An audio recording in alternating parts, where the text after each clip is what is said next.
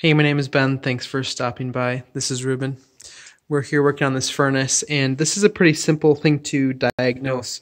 Uh, the thermostat is turned on upstairs, and we have a call for heat. When you first turn the switch on to the furnace, all it does is make a continual humming noise, and it's a fairly loud hum, and it's coming from this combustion blower or draft inducer. So when something like this happens, uh, you need to replace this combustion blower assembly typically. Uh, sometimes the motor is separate, but most of the time it's not.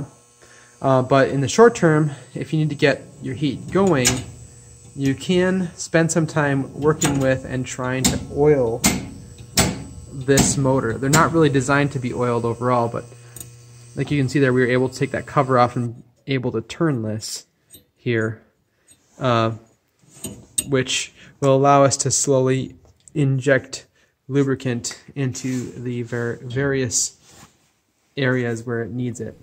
Using a type of oil like this one that I'm showing here is better than using something like WD-40 because it's thicker and will last longer. But unfortunately that still didn't help and we weren't able to get it to go.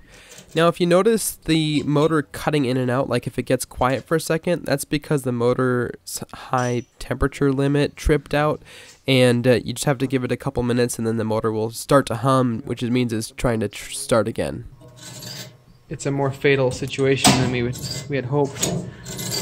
And It's really not starting. The bearings are gone. Typically, I'd say we can probably get about 80% of them to at least go temporarily for a day or two by oiling them.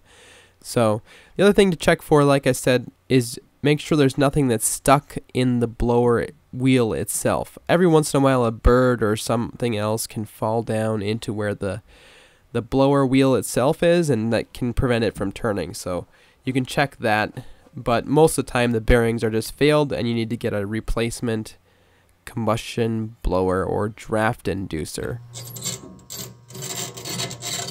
Sounds terrible. So we'll have to order a new assembly for it. Oh well.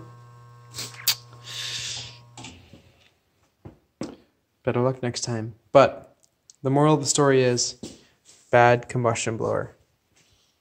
See you later.